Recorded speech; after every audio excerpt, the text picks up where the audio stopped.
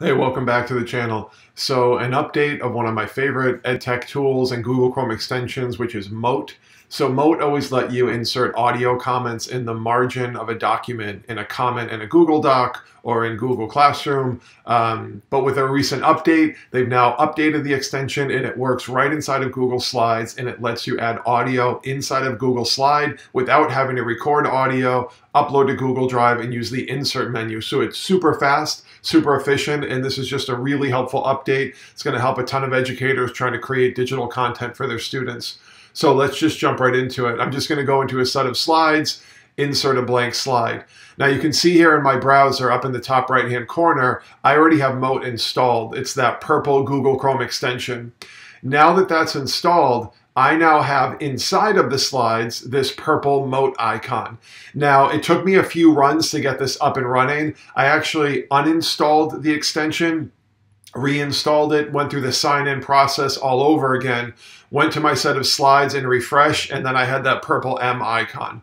So now that it's installed, we can create audio. So I'll tap on that purple M, we get this pop up right in the middle of the screen, and I can press to record. Now with the free version of Mote, you get a 30 second audio file. You can pay for the upgrade to get longer audio recordings. So I'm gonna tap on the M to record, and now Mote is picking up my voice and I can quickly and easily add audio into Google Slides.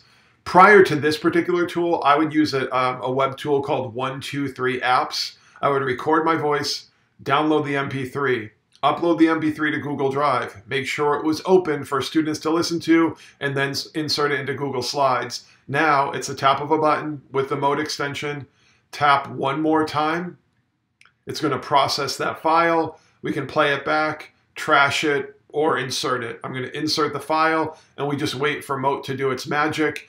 We are going to get a little purple icon that drops onto the slides in just a moment, and there's the audio file. So while that's uploading, I've tested this out also on an iPad. When that audio file inserts onto an iPad, all you have to do for students to play it back is make sure they're in present mode and the audio file will play using this extension. If they're on a laptop or a Chromebook, they can play the audio back either in um, presentation mode or even in editing mode.